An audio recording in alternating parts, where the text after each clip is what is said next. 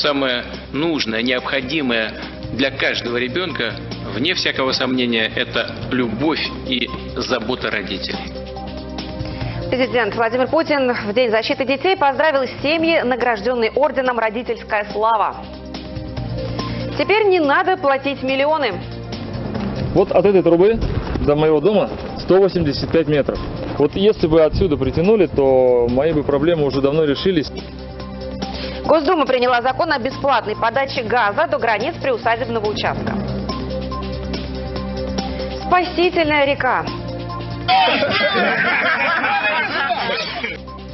Пожарные десантники чудом вырвались из огненного окружения. В студии Мария Гуфранова, здравствуйте. Счастливые заботы в День защиты детей. Владимир Путин поздравил многодетные семьи, награжденные орденом «Родительская слава» и лично пообщался с кавалерами награды.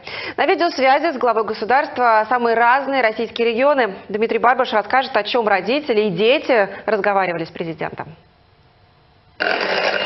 В этой семье маме